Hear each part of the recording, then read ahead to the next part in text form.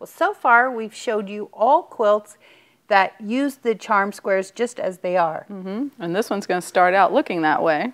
You're going to put lights in these four places, and then your darks go in the other five places. Okay, so once you have your nine patch, I'm going to show you. The next thing you're going to do is cut it in half, both directions.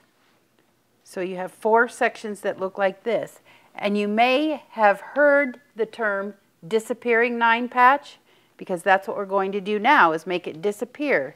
We'll turn this one and this one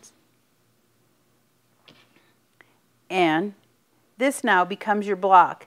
And what's important on this quilt is that your center square is a dark square, but it's always the same brown print.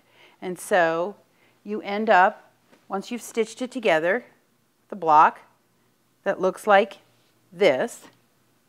And then for the quilt that you see, we've added sashing and squares between the blocks. And this quilt is called Off My Back.